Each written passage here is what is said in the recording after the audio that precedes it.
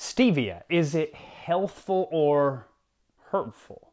Is this non sugary sweetener beneficial or is it actually detrimental to your health? Hey everybody, Chad Kreuzer here with Health and Homestead, where we talk about country living, practical steps of, of living the country life, but we also talk about scientific studies at looking at health and natural products and we look at the research. So if you're interested, uh, hit the subscribe button to see more of our upcoming videos. And let's look into the actual research. But uh, before we do, when you're talking about a non-sugary sweetener, you one of the first things that really comes to people's mind is diet soda.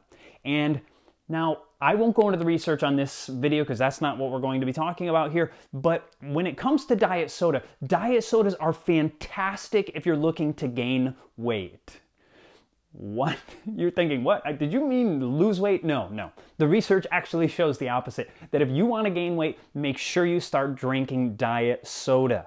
So no, you don't want to drink diet soda. Nobody really wants to drink diet soda. They're actually just simply not beneficial. You actually gain more weight drinking diet soda than you do sugary soda. But back to this right here, back to stevia. We're going to look at some of the research. We're going to look at both sides of the equation. And in the end, I'll give you a little bit of my own insight and you can choose for yourself what to do with it. But let's look at the research. What about stevia and blood pressure? So here's a great study that which it was a randomized double-blind placebo-controlled study study that looked at the results of taking 500 milligrams of stevioside uh, an extract from stevia for two years compared to placebo and its effect on blood pressure. What was the result? Well, they found that this stevia extract lowered the average systolic blood pressure by 10 points, and the diastolic was lower by an average of six points and this with, without any significant side effects. Now, this is fantastic. So, as far as lowering your blood pressure, this is actually beneficial for that. But I, I want to state right here there's many things you can do health wise to lower your blood pressure. Going on a whole food, especially a plant based whole food diet, you can lower your blood pressure significantly by doing that and then you wouldn't necessarily have to do something like this, but this actually can benefit in this area. But let's go on to our next study. So what about stevia and diabetes? Because you look at it and you say, okay, well, it's not sugary, but it tastes extremely sugary. By the way, what they say is that stevia is 100 to 300 times sweeter than white table sugar.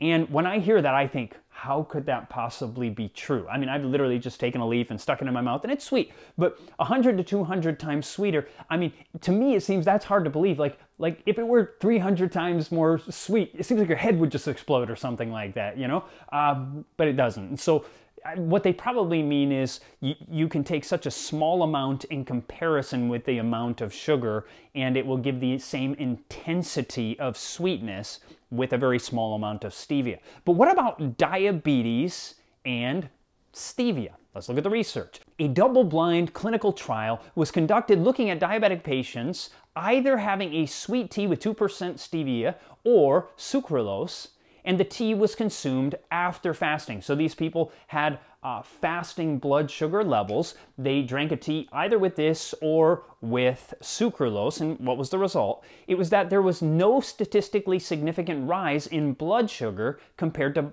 baseline fasting levels. And there was no statistically significant rise in insulin compared to the baseline fasting levels. I actually wondered that. I thought, well, maybe this tricks your body into thinking you have sugar in your body. And so your body will tell your pancreas to send out the insulin and lower that blood sugar. But in fact, it doesn't raise your blood sugar, nor does it raise the insulin level. So that actually sounded quite beneficial to me. And so I'm thinking, good, this is, this is actually looking really, really promising. But we're not done yet. Let's keep going forward. So here is talking about a sterol in stevia. There's a sterol that is found in beans, apples, and citrus, and also happens to be in stevia, called kaempferol.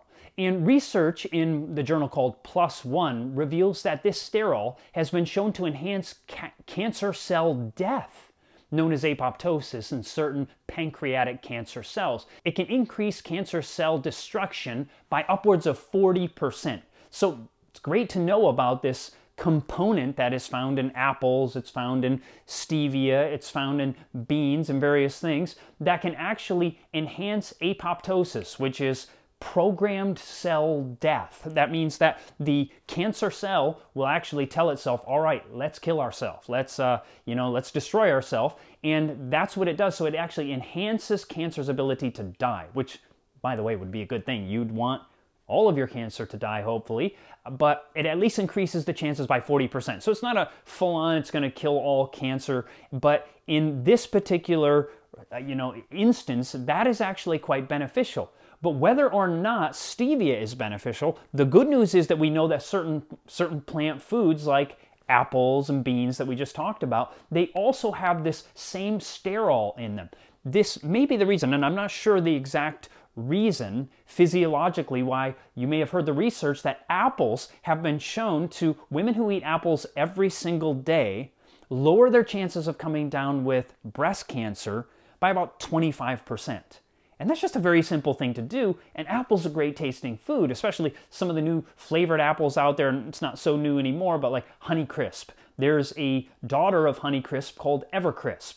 And uh, these are not genetically modified, they're natural uh, hybridization that uh, just mixing together a Fuji and a Honeycrisp, and you get an Evercrisp. And when those things are fresh, they are amazing. So the point is, by eating those simply every single day, a woman lowers her chances of having breast cancer by 25%. And that's just one beneficial change to the lifestyle. Unless you're already doing it, then it's not a change at all.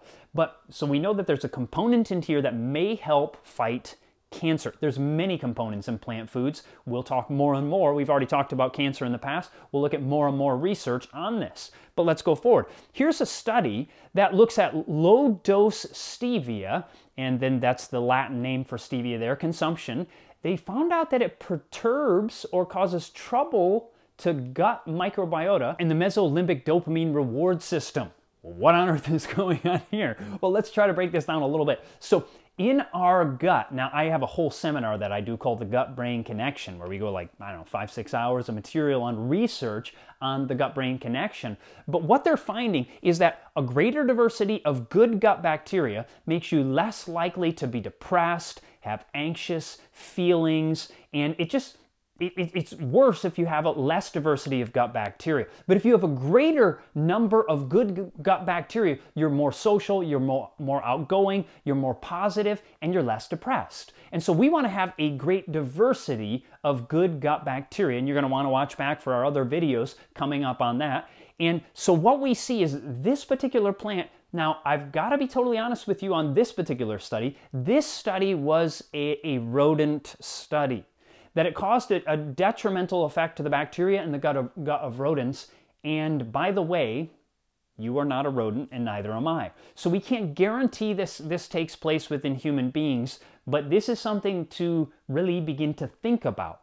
So actually, and knowing this, that if it would do the same thing in humans, that might make it possible that you would be more likely to have inflammation in your body, depression, anxiety, something to really consider. Now, here's another study that kind of gives us more insight into this. What do we see here? So here's a, a, study looking at the biological and histological changes produced by sweeteners and the effect on the brain in rats. Once again, you're not a rat, but what they're finding is is that two of the brain chemicals, serotonin and dopamine, dopamine is, is one of the chemicals in the brain that has to do potentially with pleasure or desire. And what they're finding is, at least once again in rodents, that it lowers the amount of secretion of, of these neurochemicals, serotonin and dopamine. And if it lowers levels of these neurochemicals, might it also cause someone to be more likely to be depressed or anxious or at least have a, a negative mental health state? So this is something very interesting, but once again, these studies were not in humans. So we can't guarantee that this is in humans. Now, I'm going to show you some, some incredible information that would be very beneficial to you now just after this, but I want to say before we go forward and we look at that, what you could do in place of this. Uh, may, you, you may think, oh, I thought you were going to go another direction, but I want to show you. So, but before I say that to you, here's the thing.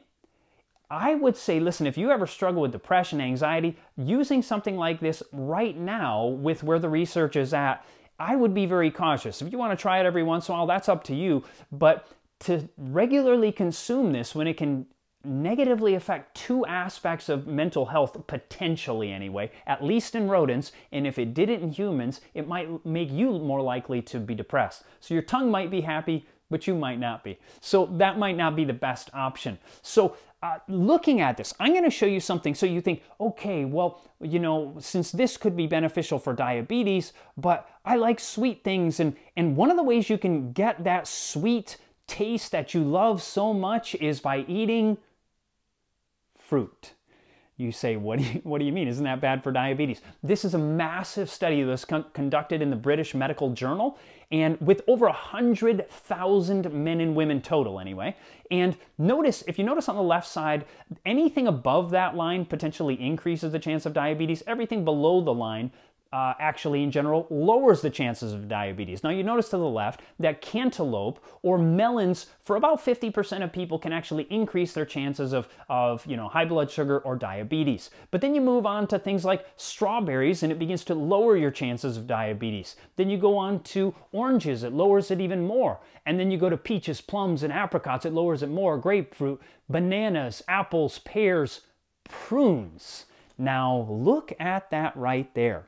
Prunes lower your chances of having type 2 diabetes more than plums. What is a prune? It's a dried plum. And it actually lowers your chances. Many people say, oh, you're diabetic. Be careful. Don't have dried fruit because it's full of sugar. It is, but it's in the package that God made it. And when it's in the package that God made it, and think of all of our history, think, think it through for a moment. In all of our history, what did people do in the off season, unless they lived in the tropics where there was potentially certain fruits year round, for most of the earth, what would they have to do? They dry fruit. It was a natural process, and because it keeps the fiber, yes, it's concentrated, but it actually can slow the, the release of the sugar into your system, and as a result, be actually beneficial to a diabetic rather than detrimental. This is very, very powerful. So you think, okay, well, what about grapes and raisins? Look at the chart again. So notice that grapes and raisins, raisins, which are dried grapes, are just as beneficial at lowering your chances of type 2 diabetes as having grapes. This is incredible. And then the final one there is blueberries. Blueberries kind of like kick diabetes in the pants, right? They kind of really, really help people with diabetes. So one of the things that you can learn is if you learn to enjoy new things, as you get away from sugary junk foods or, or these artificial sweeteners and you move actually toward fruit, in time your tongue will get used to it and you will begin to delight in fruit like you maybe never have before in your life. I can tell you it happened in my life. I love fruit now. It's actually my favorite food. And now I know that the research shows over 100,000 uh, people in one of the most prestigious journals, the British Medical Journal, shows us that fruit actually lowers rather than increases your chances of type 2 diabetes. There's actually other reasons for diabetes, and I'll show you that in another video. But this is something to think about. So it's really up to you. I'm not telling you you cannot eat this. You do with your own health what you choose. I try to go to the to the latest research that is out there to find out what is best and we really know if you're going to get good sugar, if you're going to get good sweet things, stick with food the way God intended it, the whole package that He gave to us. It doesn't mean that it has to be fresh at the time, even dried is fantastic for you, but fruit is very good. This right here, it's questionable right now. So you, but others will say, but Chad, look, it's good for diabetes, it's good for this. It is, but if something, this is the way that health really should be looked at. That if something is good for diabetes, but bad for depression, we're not sure that it is, but if it were bad for depression, but good for diabetes, I would say that's a net loss, not a net gain. Because if there are things that are good for diabetes and good for depression, why not just eat those? And fruit are actually good for both. So it is up to you. But if you like this video, hit the subscribe button. We have tons more videos coming out. Check out our old videos. God bless and have a fantastic day.